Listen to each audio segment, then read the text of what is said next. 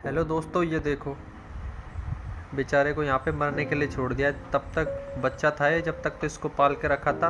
अब इसकी एज हो गई है तो इसको मरने के लिए बाहर छोड़ दिया है। अभी जब पिछवाड़े में दम ना हो ना किसी के तो पाला मत करो ऐसे, ठीक है ना?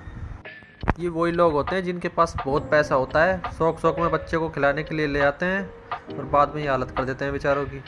टाइम आ जाता है जब इनका। भाई, क्या बोलूँ इनके बारे में अब?